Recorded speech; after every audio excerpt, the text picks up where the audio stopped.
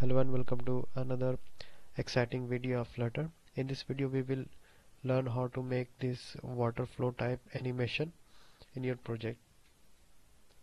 So without any further delay let's get started. I'm not going to tell you each and everything. I will copy and paste all the code in the description.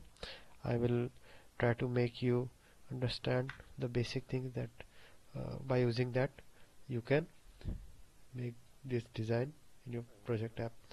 This is the uh, main file. I have created new project and I have deleted all the boilerplate code and just left all only these things. This is a material app.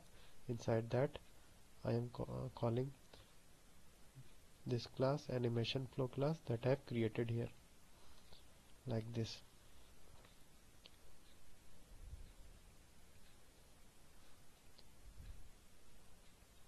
in this I have taken 4 control this is basically 4 controller. One will control the starting motion. Another will control the end motion of this wave. Third one will control the upward motion of the wave.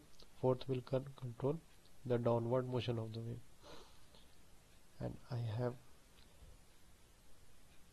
managed and given the animation movement inside init state so that whenever the page loads the animation will start to appear on your screen.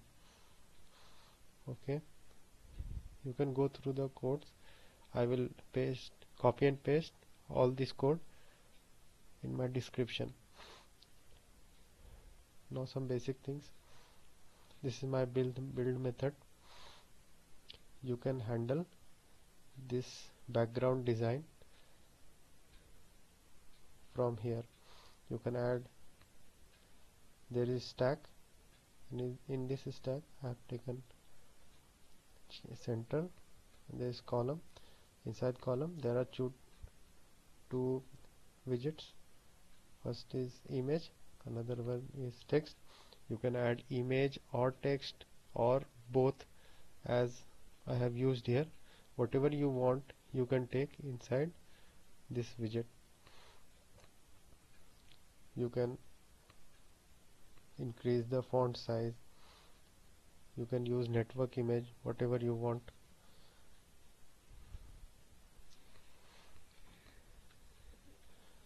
You can also change the color of the water wave from here from blue to green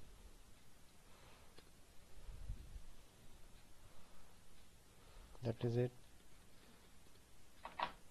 Orange. So you can manage these things from here.